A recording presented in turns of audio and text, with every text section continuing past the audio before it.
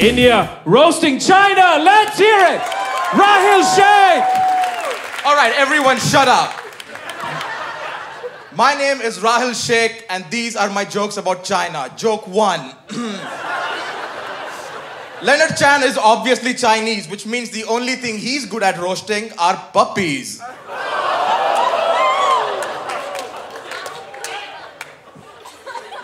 Contrary to popular belief, not all Chinese people eat dogs.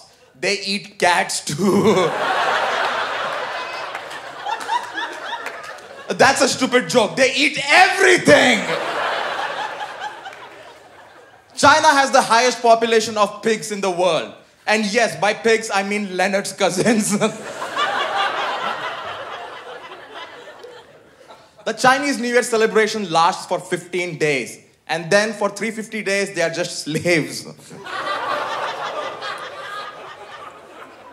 A lot of Chinese factories have suicide nets, not because of the horrible working conditions, but because occasionally those factory workers realize that they are Chinese.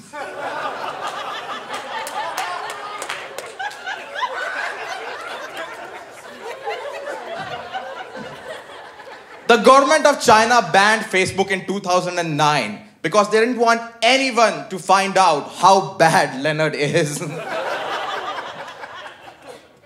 According to a recent survey in China, Chinese people have Chinese eyes because they are tired of looking at other ugly Chinese faces.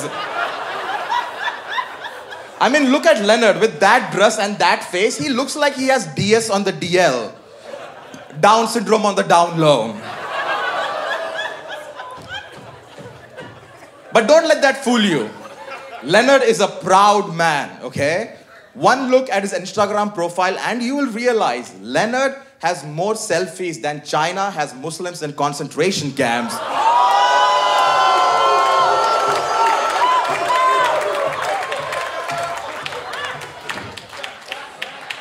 Chapter 2.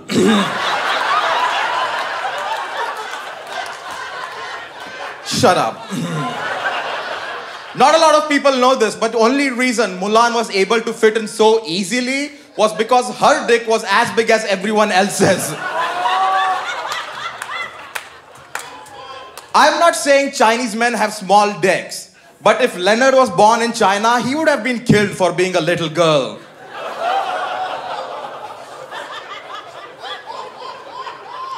In all honesty, I haven't seen Leonard's dick, but neither has he.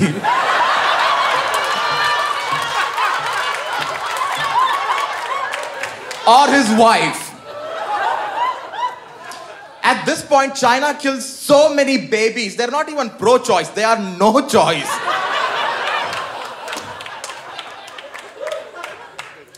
Epilogue India and China, we have a lot in common. Small dicks, fucking with Muslims, the difference is we shit on the streets, they don't. They kill citizens of Hong Kong, and we don't. Free Hong Kong, thank you. Rahil Shaikh, India, bringing it. All right, all right. For the final roast of the night, Leonard Chan, China, roasting India. Give it up for Rahil, man. That was actually fucking awesome. All right, give it up for Rahil. Rahil is an awesome comic from India. There's no line he won't cross, except the poverty line. He won't cross that. He'll never cross that. Look, he's very loud and aggressive, right? He's a very loud and aggressive man. I don't know how many times I've had to tell you, no, I do not want duck cleaning.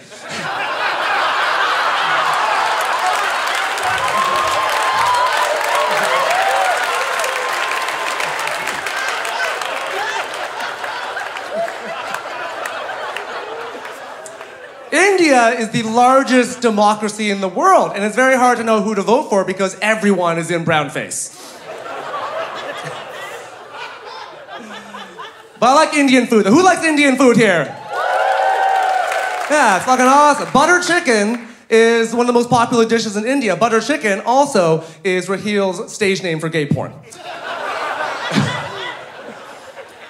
You know, in American porn, they have fluffers, all right? These are women who keep the men hard between scenes. In Indian porn, they have shavers. Yeah, these are men who shave the women between scenes.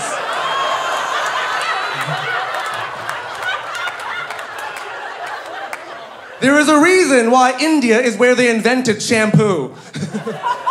All right? That is too much heat and too much curry for that much hair. Like, that is a serious design flaw. You have so many fucking gods. How could none of them figure that shit out?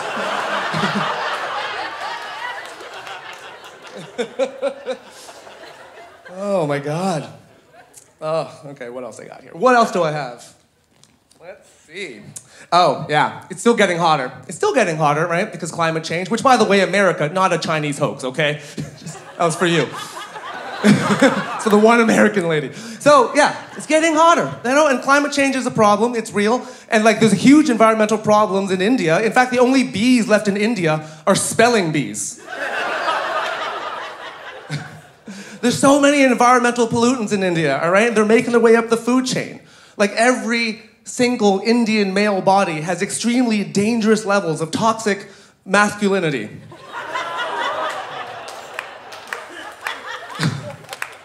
Like Indian currency is rupees, Indian women are rapees.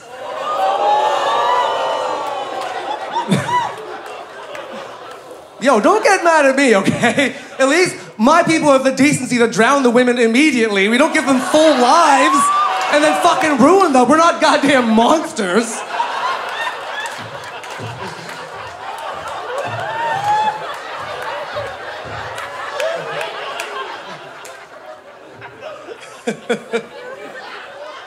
oh man. No, Rahil's very progressive. you know what? Before I met Rahil, I thought only the women in India got acid attacked.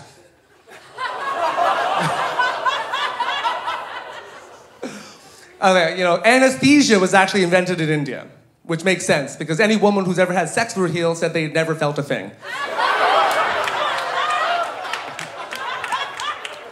because they were unconscious. he just props them up in downward dog. Uh, look, yoga was actually invented by Indian males because that's the only way they can get a white woman to voluntarily spread their legs. Although history has taught us that India invented yoga from so much bending over for the British.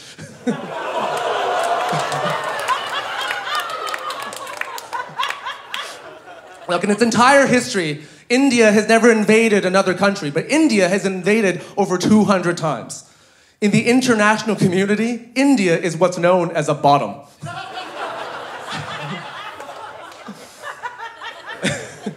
All right, like, I'll finish on a serious note.